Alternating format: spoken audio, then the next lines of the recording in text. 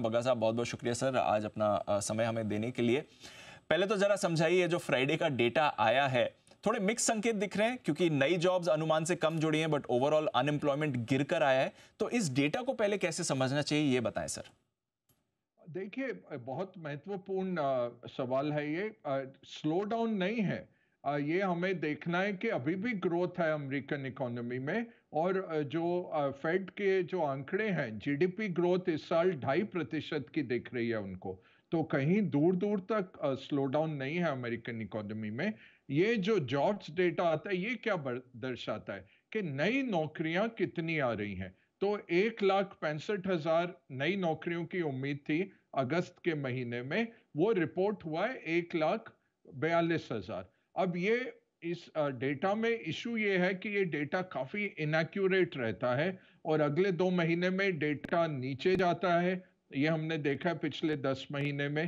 तो ये कहाँ से ओवर एस्टिमेशन आ रही है? मॉडल्स बिगड़े हुए हैं। बट इसके साथ एक और डेटा पॉइंट आता है, दीप, जो होता है अनएम्प्लॉयमेंट का, बेरोजगारी का। वो बेरोजगारी का डेटा एक्चुअली जुलाई में चार दशमलव तीन से अगस्त में चार दशमलव दो पे आ गया। तो बेरोजगारी का आंकड़ा बेहतर रहा इकोनॉमी के मुकाबले और साथ में नौकरियाँ जो थी, एक लाख बयालीस हज़ार नौकरियाँ एस्टिमेटेड है कि वो आई है अमेरिका की इकोनॉमी में। तो स्लो डाउन नहीं है। मार्केट क्यों विचलित है? तीन मूलभूत कारण है। एक मार्केट को डर है कि फेड ने कहीं गाड़ी तो नहीं छोड़ दी, जुलाई में क्या कट करना चाहिए था? अब ये 18 सितंबर को कट करेंगे। कट का जो इम्पैक्ट आता है, उसको 9 से 12 महीने इम्पैक्ट लगता है आने में इकोनॉमी में। तब तक कहीं गाड़ी पटरी से तो नहीं उतर जाएगी अमेरिकन इकोनॉमी की। ये सेंट्रल रिस्क लग रहा है मार्केट को। दूसरा बड़ा रिस्क है येन कैरी ट्रेड का, जो हमने पाँच अगस्त को पिछले महीने देखा था, एक हफ़्ता काफ़ी गिरावट रही मार्केट्स में। तो एक बहुत बड़ी पोजीशन है दीप। लगभग एक ट्रिलियन डॉलर्स का एस्टिमेट है, जहाँ पे येन में बोरोइंग की गई है। तो शॉर्ट येन है और लॉन्ग मैग्निफिसेंट सेवन। ये बिग टेक्नोलॉजी शेयर जो अमेरिका के हैं। तो इनको, इन शेयर्स को अभी बिकवाली हो सकती है। और क्योंकि तीसरा ये कारण है कि ये कॉन्सेंट्रेटेड है शेयर्स अमेरिकन मार्केट के बहुत बड़ा uh, एक प्रोपोर्शन इन मैग्निफिसेंट सेवन से है ग्रोथ में भी और साथ में मार्केट को उठाने में भी। तो जब ये गिरते हैं तो पूरा मार्केट गिर रहा है। हमने देखा पिछले हफ़्ते नेस्टैक पाँच परसेंट से ज़्यादा गिरा S and P five hundred चार परसेंट से ज़्यादा गिरा। डाउ क्योंकि ओल्ड इकोनॉमी है ज़्यादा स्थिर इंडेक्स है, इतना बड़ा उसमें मैग्निफिसेंट सेवन का हिस्सा नहीं है, वो थोड़ा स्थिर था, इतना नहीं गिरा। तो तीसरा है कंसंट्रेशन तो तीन कारण है, क्या अमेरिकन इकोनॉमी स्लो डाउन कर रही है? दूसरा, जो यन कैरी ट्रेड है, वो अभी बाकी है, वो निकलने को आना है। और तीसरा, आपका कॉन्सेंट्रेशन रिस्क जो है अमेरिका में। इसके सामने बहुत ज़बरदस्त पैसा साइड में पड़ा हुआ है। और पिछले तीन हफ्तों से लोग अमेरिकन मार्केट से पैसा निकाल रहे हैं। आठ से दस बिलियन डॉलर हर हफ़्ते निकाले जा रहे हैं। तो ये मार्केट साइड लाइन्स पे पैसा खड़ा हुआ है कि अगर आ, अच्छा लेवल आए हम आ, उतर पड़ेंगे। तो इसलिए ज़्यादा उम्मीद नहीं है कि इससे ज़्यादा और करेक्शन नीचे जाएगा। बाकी मार्केट का कोई कह नहीं सकता। लगभग दी पिछले दस सालों में औसतन अगस्त के हाई से सितंबर में पाँच परसेंट नीचे आता है अमेरिकन मार्केट वो तो हो गया। वो पहले हफ़्ते में ही वो मार्केट ने कमाल दिखा दिया है। तो यहाँ से शायद कंसोलिडेट साइडवेज होगा बट 18 सितंबर तक वॉलेटिलिटी जारी रहेगी तो इसलिए ऊपर नीचे ऊपर नीचे मार्केट दिखेंगे। ट्रेडर्स के लिए अच्छा मौका है अगर आप आ, बना सकते हैं पैसे। इन्वेस्टर्स के लिए मौका है। जो बना हुआ है वो बनाए बना रखिए। और नया पैसा धीरे धीरे करके लगाया जाएगा। करबगा साहब, ये तो ऑब्वियस है कि सितंबर में रेट कट हो रहा है। दो सवाल सर एक तो क्या अभी भी one quarter percent rate cut होगा या आधे परसेंट का रेट कट होगा? और फिर अब यहाँ से कितने रेट कट होने वाले क्योंकि एक रिपोर्ट आई ओवर द वीकेंड वो कह रही थी कि अगली पाँच पॉलिसीज़ में लग रहा है कि रेट कट होंगे लगातार। हाँ जी रेट कट तो होंगे। दूसरा सवाल आसान है कि रेट कट होंगे। अब 25 और 50 में सोच चल रही है दीप।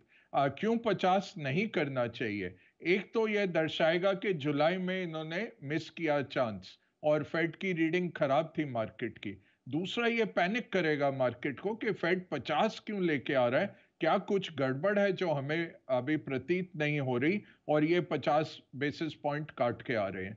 तीसरा बहुत अहम मुद्दा रहता है कि इन्फ्लेशन अभी जो गिरी है और ढाई प्रतिशत के करीब है अमेरिका में दो दशमलव छः ले लीजिए, वो कहीं लौट के ना आ जाए। तो सारा जो इन्होंने काम किया 2022 का और 2023 में जो होल्ड करके बैठे हैं, पिछले जुलाई से इन्होंने रेट नहीं बढ़ाए और काटे भी नहीं। वो सब का फिर मामला खराब हो जाएगा। और चौथा एक बहुत बड़ा कारण है कि क्वांटिटेटिव टाइटनिंग बॉन्ड परचेज के तौर पे नए बॉन्ड्स नहीं परचेज कर रहे हैं सेंट्रल बैंक्स दुनिया भर में। तो एक टाइटनिंग बॉन्ड मार्केट से तो आ रहा है दीप, जो कि इक्वल होता है रेट हाइक का। तो वहाँ पे भी आपको थोड़ा सा एक्शन हो रहा है। तो मिला जुला रुझान है। इस माहौल में, अब मुझे लगता है 25 पे ही कायम रहेंगे और फिर नवंबर में देखेंगे। अगर ज़रूरत पड़ी, नवंबर में 50 कर सकते हैं कि और डिटीरियोरेशन हुआ है डेटा का और तब तक अमेरिकन इलेक्शन भी निकल जाएगा। तो अभी इलेक्शन के चलते भी इश्यूज़ आते हैं कि ट्रंप बोलते जा रहे हैं कि रेट कट मत करिएगा अभी। हम इसको पॉलिटिकल डिसीज़न सोचेंगे फेड कह रहा है कि हम पॉलिटिकल इन्फ्लुएंस uh, में नहीं आते। जो हमें ठीक लगेगा मॉनेटरी पॉलिसी से वही हम करेंगे। तो uh, ये भी एक असमंजस है। तो ज़रूर फेड uh, के गवर्नर वॉलर जो है क्रिस्टोफर वॉलर उन्होंने वीकेंड को ज़रूर कहा कि अगर बड़े रेट चाहिए होंगे हम करेंगे। बट वो मुझे लगता है हौसला अफजाई कर रहे थे मार्केट्स की बनस्पत इसके के असली में पचास। क्योंकि आप अभी तक रिस्ट्रिक्टिव पॉलिसी में थे। एकदम से आप एकोमोडेटिव बन रहे हैं। पिछली बारी आपने कहा कि बैलेंस में है और ग्रोथ की तरफ़ अब हम अग्रसर होंगे।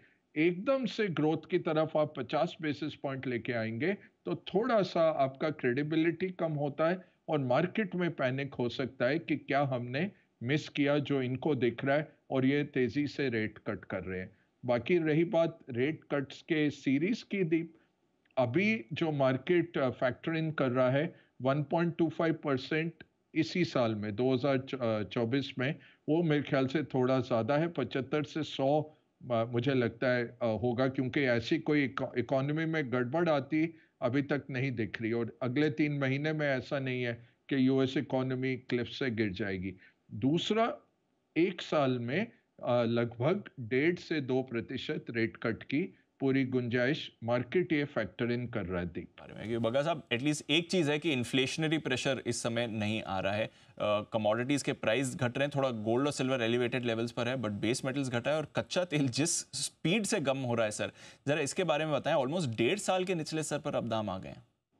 जो स्पेक्यूलेटिव uh, प्रीमिया था फंड्स का जो पोजीशंस uh, रहता है वो काफ़ी हानि में आए दीप और इसलिए इतना तेज मूव देखा दस परसेंट का मूव सितंबर में ही आते हुए इतनी तेज गिरावट आई। तो ये अब ओवरसोल्ड जैसा हो गया कि भाई आ, बिल्कुल इकोनॉमी ठप होने वाली है और चाइना में भी स्लो डाउन है ये सब दर्शा रहा है। इसके सामने ओपेक प्लस ने दीप क्या एक्शन लिया है? उन्होंने जो अक्टूबर में आ, बढ़ाना था अपना प्रोडक्शन वो उन्होंने दो महीने से आगे कर दिया है पोस्टपोन कर दिया है। तो अब दिसंबर में वो देखेंगे कि प्रोडक्शन और बढ़ाना है कि नहीं, क्योंकि मार्केट ओवर सप्लाइड है। सप्लाई ज़्यादा है डिमांड कम है अभी। अब भारत में इन्फ्लेशन हमें आएगा आंकड़ा थर्सडे को गुरुवार को हमारा सीपीआई का आंकड़ा आएगा। हमारा प्रॉब्लम यह है कि जो पंप पे प्राइसेस नहीं काटे गए। तो जो कमोडिटीज के इम्पोर्टर्स हैं पेंट कंपनियाँ हो गई टायर कंपनियाँ हो गई, जो भी पेटकेम में डाउन स्ट्रीम कंपनीज़ हैं, उनको ज़रूर फ़ायदा है कि उनको कम कीमत पे तेल मिल रहा है दुनिया भर से। बट मेन रिटेलर को अभी तक फ़ायदा नहीं हुआ।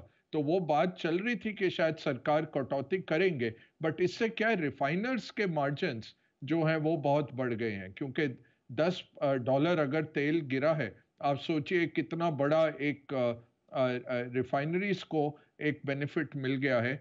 क्योंकि वो तेल उसी लेवल पे बेच रहे हैं तो अभी कटौती नहीं आई, उससे फिर राहत इन्फ्लेशन में तुरंत आनी शुरू हो जाएगी जब सरकार काटेगी डीजल और पेट्रोल के दाम और गैस के दाम।